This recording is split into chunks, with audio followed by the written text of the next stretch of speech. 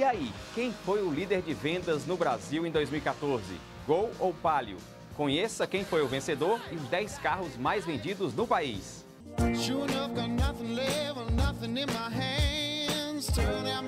Não teve jeito. Um dia o líder cai. Depois de 27 anos de liderança, eu disse 27 anos, o Volkswagen Gol terminou 2014 em segundo lugar. O Fiat Palio assumiu o topo, com 183.744 unidades vendidas no Brasil. A diferença foi mínima, de apenas 378 carros. Líder de mercado há 13 anos, a Fiat jogou pesado para ultrapassar o gol. A briga beneficiou o consumidor, com promoções, descontos ou facilidades de pagamento, e também aos frotistas, pela vantagem da venda direta com preço reduzido em relação à tabela. Na segunda metade do ano, o Palio foi líder e conseguiu manter a primeira posição, mas sempre pressionado pelo gol. A picape Fiat Strada ficou em terceiro lugar, com 153.113 unidades vendidas. Em quarto, o Chevrolet Onix. Em quinto, o Fiat Uno.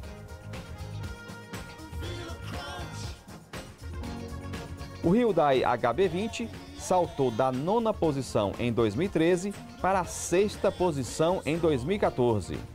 Ele foi seguido pelo Ford Fiesta. Em oitavo lugar, o Fiat Siena. Em nono, o Volkswagen Fox. E em décimo lugar, o Renault Sandero. Dos 10 carros mais vendidos em 2014, quatro foram da Fiat, dois da Volkswagen e um da Chevrolet, Ford, Hyundai e Renault. A assessoria de imprensa nacional da Volkswagen se posicionou sobre o assunto em nota oficial. Disse ela: O Gol é um vencedor, tendo sido o preferido dos brasileiros por 27 anos consecutivos. O modelo foi escolhido em 2014 por 183.367 clientes, uma diferença de apenas 0,2% para o seu concorrente. Mas a verdade é que o Fiat Palio é o líder de 2014 e desbancou o carro da marca alemã. Confira a listagem completa dos 10 mais vendidos. Em primeiro, Fiat Palio, em segundo, Volkswagen Gol. Em terceiro, Fiat Strada. Em quarto, Chevrolet Onix. Em quinto, Fiat Uno. Em sexto, Hyundai HB20. Em sétimo, Ford Fiesta. Em oitavo, Fiat Siena. Em nono, Volkswagen Fox. E em décimo, Renault Sandero. Audi, Chery e Mercedes são algumas marcas que terão fábricas no Brasil em 2015. Quem conta tudo é a repórter Camila Marcelo. Pois é, André. Além dos convencionais lançamentos, o ano de 2014 foi de estreias de montadoras no Brasil. A BMW, por exemplo, inaugurou a sua primeira fábrica no país. O local escolhido foi Araquari, no norte catarinense. Os modelos produzidos na planta são o Série 3 e o X1. Até o fim deste ano, espera incluir ainda os modelos X3, Série 1 e o Mini Countryman. Por enquanto, a fábrica não está em plena produção. Quando ela atingir 100% da atividade, a capacidade será de 32 mil veículos por ano. Mas o que pode se esperar de, de, de grande valia é a, a, a, quantidade de peças que você vai ter a pronta entrega na montadora. Para nós concessionários vai facilitar diminuir os nossos estoques de peça, que a logística da BMW vai parar para para cá para o Ceará em torno de, no máximo, sete dias corridos para uma peça chegar. E peças que antigamente você dizia, tem que esperar da Alemanha. Hoje você vai poder, creio que em oito, nove meses, já ter uma quantidade de peças do Brasil que façam com que a gente ligue para a fábrica e peça a peça em sete dias, um motor, um câmbio, peças de, de, de, de baixíssimo giro que chega aqui na concessionária.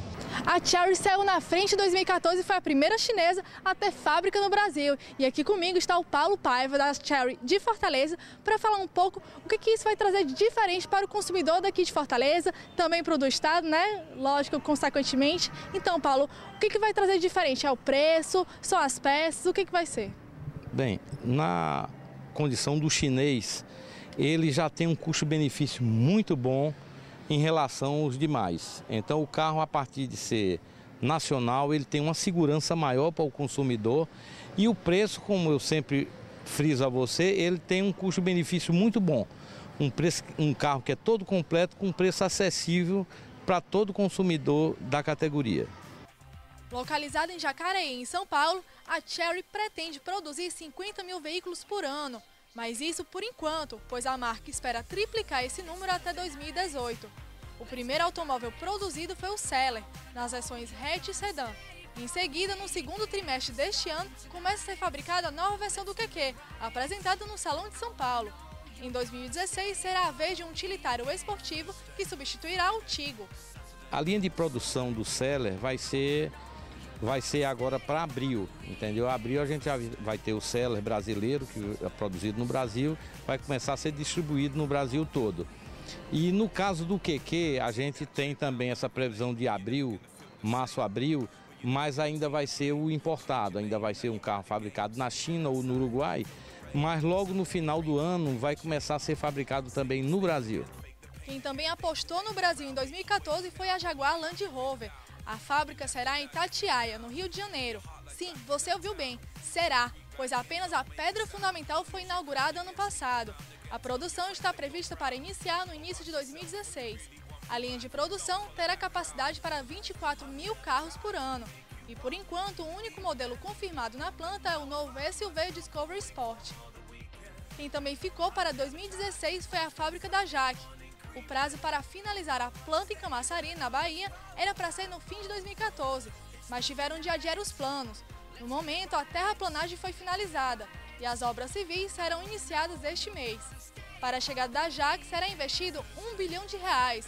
Ao final, espera aumentar a confiança sobre os seus produtos e serviços no país, além de ampliar os pontos de atendimento. Agora são 65 concessionárias, com a chegada da fábrica, é esperado aumentar o número para próximo de 100. Impressionante! Conheça um colecionador cearense que tem mais de 4.500 miniaturas. Test Drive, uma avaliação completa da nova picape Saveiro. Não sai daí que eu volto acelerado.